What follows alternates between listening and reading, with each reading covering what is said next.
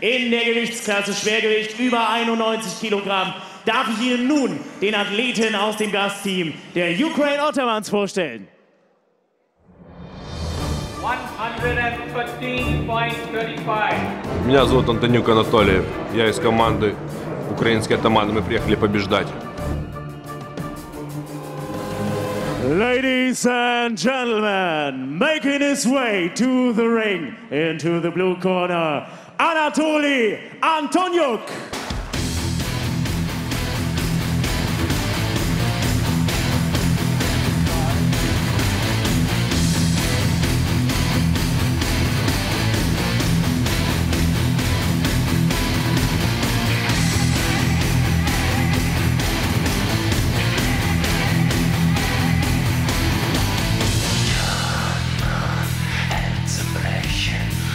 Ladies and Gentlemen, in der blauen Ecke Applaus für Anatoly Antoniuk.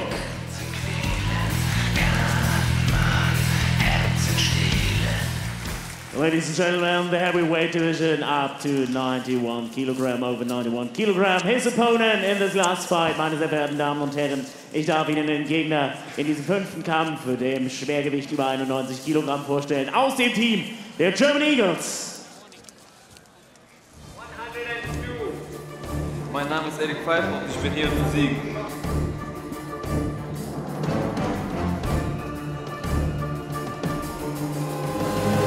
Ladies and gentlemen, making his way to the ring and to the red corner, Erik Pfeiffer.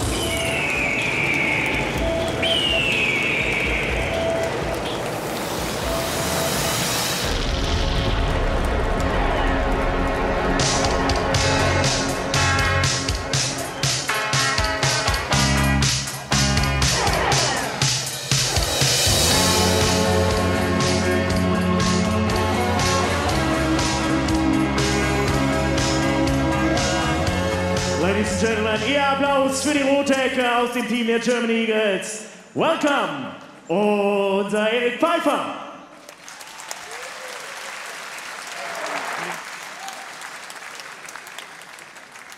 Meine sehr verehrten Damen und Herren, die Punktrichter dieser Begegnung, Yasser Chinar, Andrew Caulfield und Hasan Sumit, Referee dieser Ansetzung, dem fünften Kampf am heutigen Abend, Reneus aus der Slowakei.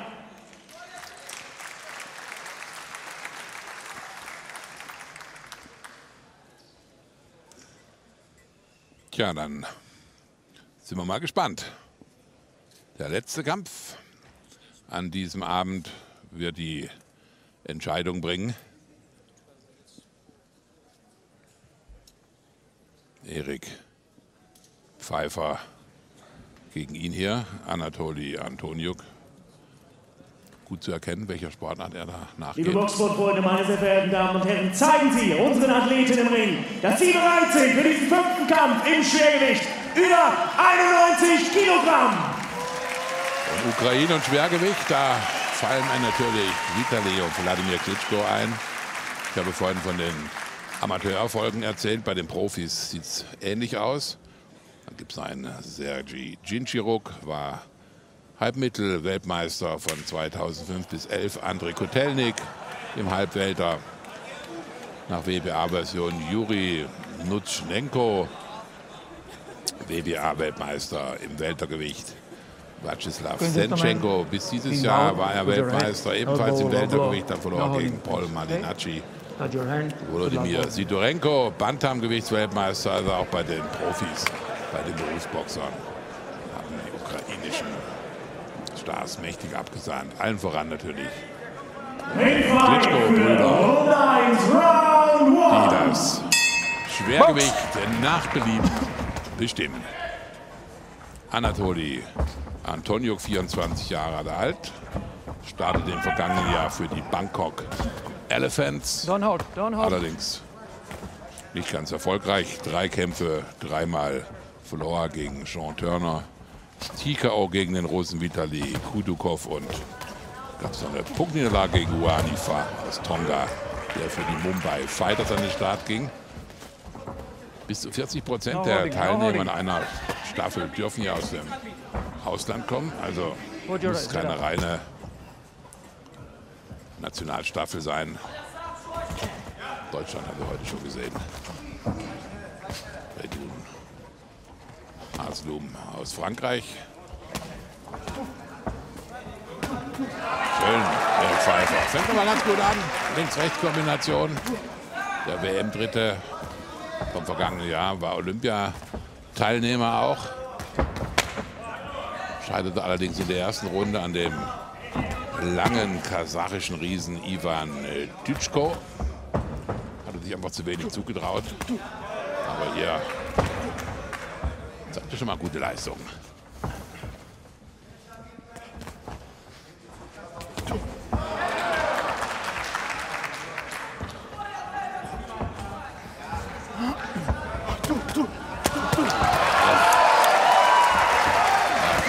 drei, viermal ein am Kopf von Anatoli Antoniuk, der mit Sicherheit natürlich nicht erste Wahl ist hier im Schwergewicht bei den Ukrainern.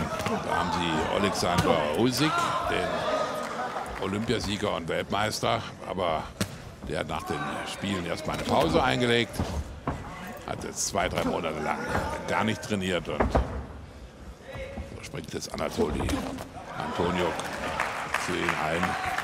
Allerdings hat er hier seine liebe Mühe mit Erik Pfeiffer, der hier wirklich gut eingestellt ist auf den Ukrainer, recht jetzt im Kopf.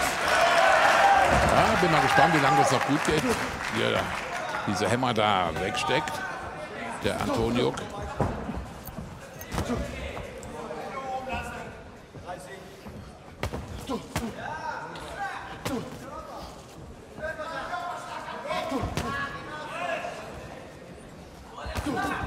Noch 20 Sekunden. Hat auch ein bisschen ein paar Funde zu viel auf den Rippen, Antoniuk. Ist man eigentlich den ukrainischen Fighter gar nicht gewohnt. Erik Pfeiffer hellwach in dieser ersten Runde. Gut gemacht, Junge.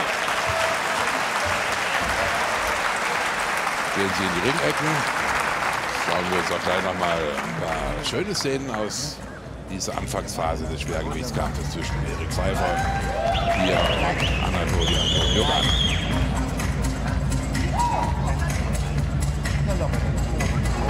Kombination zum Kopf, linke, alles Hand und Fuß, was Pfeiffer da drei Minuten lang gezeigt hat. Antonio habe ich noch gar nicht viel gesehen. Hier mal ein Heumacher. Ja, über den Kopf von Pfeiffer. Alles andere wäre ein Witz gewesen. An die Runde geht klar Der Mann von den German Eagles. Hier Valentin Gilagi in der Ecke. War selber rumänischer Meister, 78 und 81 im Mittelgewicht holte den Silbermedaillengewinner bei der Europameisterschaft 1979, Bronzemedaillengewinner der Olympischen Spiele 1980 und der Europameisterschaft 1981. Wechselte dann in den Trainerstab des DBV, war dann auch mal kurzzeitig bei der Universum Box Promotion. Profitrainer, kehrte dann aber 2010 wieder zum DBV zurück und Michael Timm arbeitet in der Ecke des Bundesstützpunkts Schwerin. War 81 und 82 deutsche Meister, Weltergewicht 83 deutsche Meister im Halbmittelgewicht. Gewann den Chemie-Pokal einige Male, wurde dann Trainer bei den Amateuren und von 97 bis 2012 war er Angestellter beim Hamburger Profi-Boxstall Universum Box Promotion, den es leider nicht mehr gibt. Und trainierte Weltklasse-Leute wie Jürgen Bremer, Jerzy Cimciruk, Andreas Kotelny, Ina Menzo, Wladimir Sidorenko, Dieter Egon Roth. Felix Sturm war dabei, Ruslan Schagajew, Stippe Drees, Duan Glasnitschi, Thomas Ulrich, Juan Carlos Gornisberg und, und, und. Also, er hat die erste Sahne der deutschen Berufsboxer trainiert und seit 2012 eine richtige Entscheidung getroffen. Er ging zurück zu den Amateuren und ist Leiter des Bundesstützpunktes in Schwerin. Er hat sich ja einiges vorgenommen beim DBV. So, nochmal ohne Medaille von Olympischen Spielen, will man nicht zurückkommen. Und Erik Pfeiffer, der ist ja weiter auf einem guten Weg, den Kampf für sich zu entscheiden. Kann mächtig einstecken, der Antonio, aber er ist chancenlos. Ganz wenig, was er da boxerisch zeigt. Pfeiffer nutzt das aus. Ganz kurz und trocken hier die rechte zum Kopf. Head up, head up, break. Wie gesagt, die deutschen Boxer planen hier mehr oder weniger einen Neuanfang. Und dazu soll natürlich auch die World Series of Boxing helfen. Sind ja gute Leute da, wie heute gesehen. Grill hat gewonnen, Künzel auf einem guten Weg. Pfeiffer jetzt mit einer guten Leistung, obwohl der Kampf nicht vorbei ist.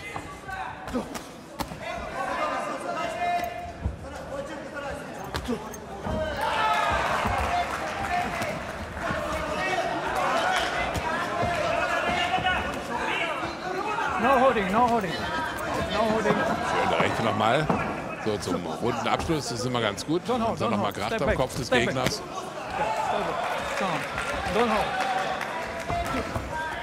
Hat er Glück gehabt, da war ein Schlag nach dem Break, aber war jetzt dem René Just zu viel, da nochmal einzugreifen.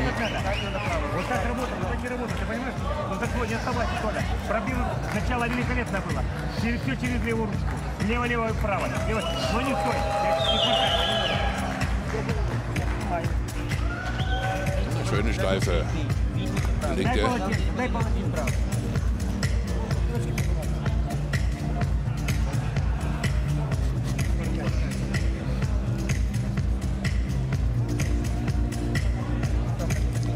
Ja, war nicht viel, was Antonio da bislang gezeigt hat. Zwei Runden, alle beiden gehen an Pfeiffer. Und ich kann mir nicht vorstellen, dass jetzt Antonio sich da so steigern könnte, als ob er der ganzen Sache hier eine Wende gibt. Die Runden waren relativ klar und glatt an Pfeiffer gegangen. Steht natürlich immer die Gefahr, dass man in einen blöden Glücksschlag da marschiert und dann noch verliert. Aber Pfeiffer ist eigentlich erfahren genug, um solche Situationen vermeiden zu können. Trainiert auch im Bundesstützpunkt Rhein-Neckar-Heidelberg. Ist Vater eines Sohnes. Wurde in, ähm, in Russland, in Asbest geboren, kam mit sieben Jahren nach Deutschland, nach Wächter. Asbest hört sich schon relativ ungesund an, aber da stammen auch der zweifache deutsche Olympiateilnehmer im Gehen, Robert Ili und der russische Olympiasieger von London im Halbschwergewicht, Jegor Leonidowitsch Mechonzev. Gar nicht so einfach auszusprechen. Mechonzev. Und nach wie vor knallt es da kräftig auf die Birne von Antonio Glieder. Rechter. Ja, wieder angezählt, oder? Ja. Hat auch drum gebeten, indem er sich so leicht nach vorne gebeugt hat und sagt, eigentlich habe ich jetzt schon die Halskrause voll. Aber er stellt sich noch mal. Ja, der kassiert und kassiert.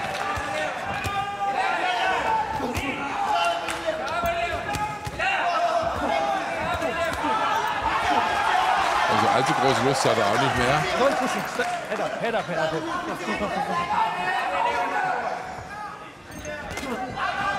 Wieder die rechte. Und just immer, er soll nicht halten, er soll was tun. Und wenn er was tut, dann kassiert er. Unangenehme Situation für Anton Juck. Da kommt er aus der Ecke auch nicht mehr so schnell raus. Pfeiffer macht das jetzt vollkommen richtig, knallt der eine um die anderen um die Mütze. Also morgen früh braucht er ein, zwei Aspirin. Da bin ich mir ziemlich sicher. Nochmal. No holding. Don't hold. Don't hold.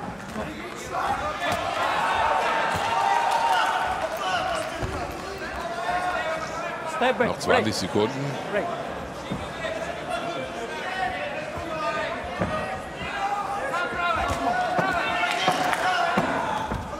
Ist im Kampf da. Erik Pfeiffer mit Sicherheit die Fäuste anschließen will, weil er so oft da auf den Kopf und auf das Kinn genagelt hat von Antonio. Aber runter geht er nicht. Zwar ist angezählt worden, gibt zwei Punkte für Pfeiffer.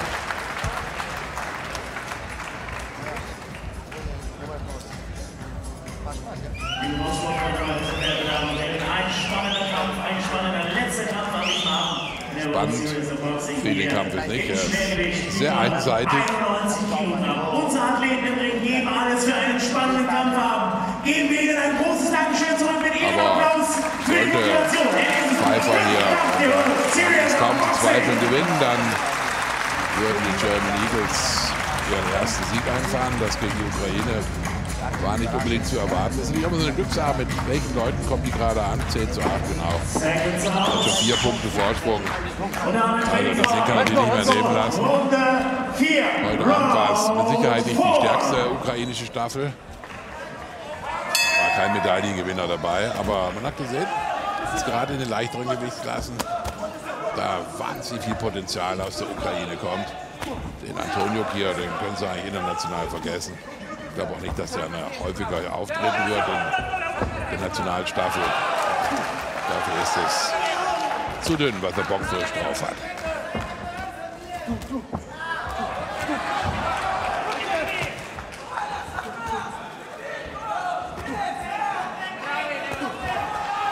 Ja, das war mal ganz gut, mal ähm, den Schlag nach unten zu ziehen. Kann man auch mal auf die Leber treffen, tut auch weh. Ja, der, jawohl, abgefangen, da wackelt er, da wackelt er. Just schaut ganz genau hin. Ah, da trennt sie nur. Bumm, nochmal. Head up. Head up. Aufwärtshaken. No pushing. No pushing. Okay. Step back. Step back. Also es gibt ja schon Typen, die, die schlucken unglaublich viel. Dazu kann man Antonio auf alle Fälle zählen. Spaß machen kann das ja nur mit Sicherheit nicht.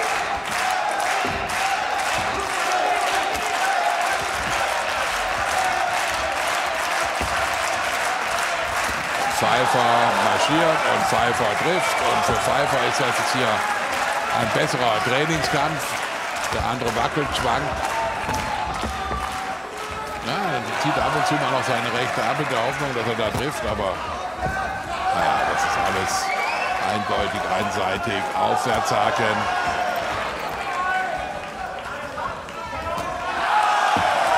Nochmal der Aufwärtshaken. Aber er stellt sich. Tapfer ist er, der Anatoli Antoniuk. Mehr auch nicht.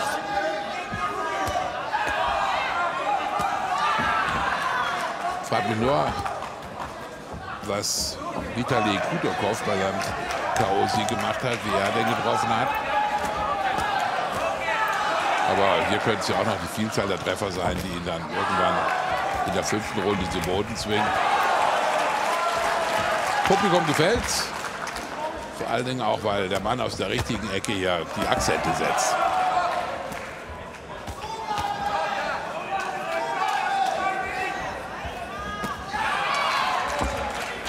Strafende Blicke da aus der ukrainischen Ecke Richtung Antoniuk.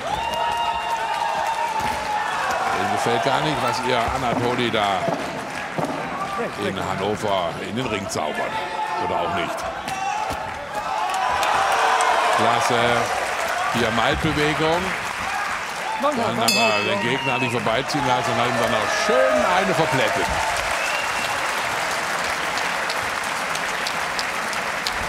Noch eine Runde und dann haben die German Eagles hier ihren ersten Sieg eingefahren.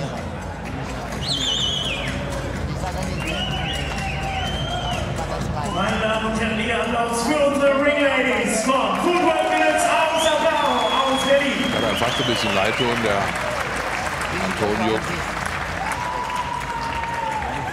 Anton Schluck müsste eigentlich heißen, bei dem war ja alles Schluck.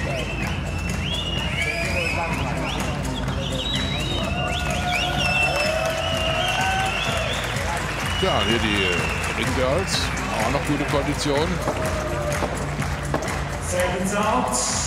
40, 35 nach vier Runden. Und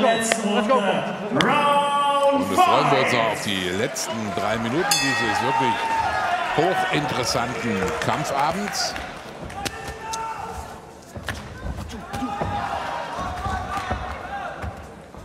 No holding, no holding.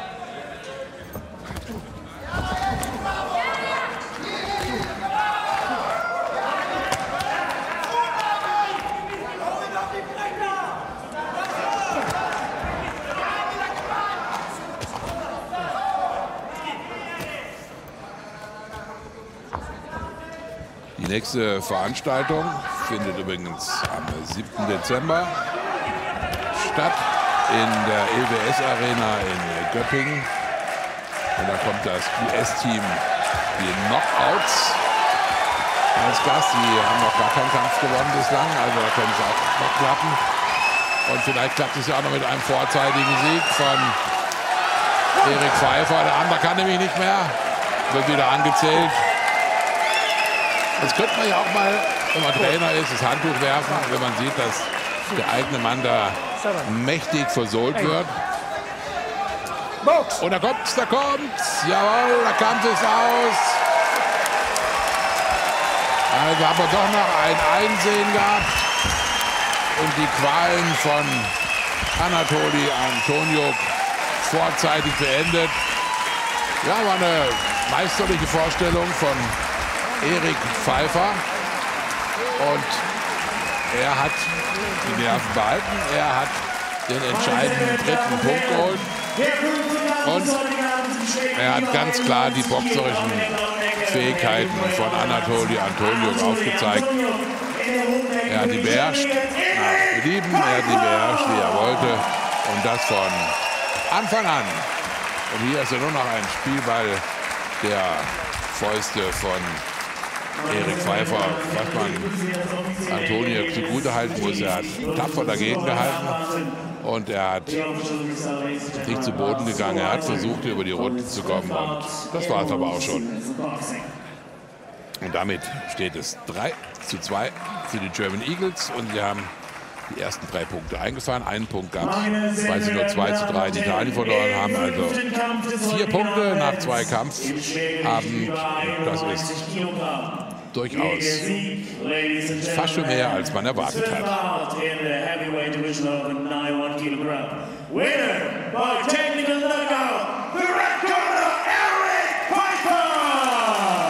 So, Erik Pfeiffer wird hier nochmal beklatscht, bejubelt. Wie gesagt, in Göppingen geht es weiter gegen die USA Knockouts. Hoffen wir auf einen weiteren Sieg. Und ich sage ciao und tschüss von einer wirklich gelungenen Veranstaltung. Und vielleicht nochmal die einzelnen Kämpfe. Reduan Aslum von den German Eagles verliert gegen Alexander Rischkan. Arthur Bredel, Superkampf gegen Pablo Ichenko, hat er gewonnen, der Arthur. Jack Pascali verliert in meinen Augen unglücklich gegen Ivan Golub und dann Kevin Künzel mit einer unglaublichen Leistungssteigerung holt er noch den Sieg gegen Sergei Lapin und Erik Pfeiffer haben Sie eben gesehen. Klare Sache gegen Anatoli Antonio. Das war's. Ciao und tschüss.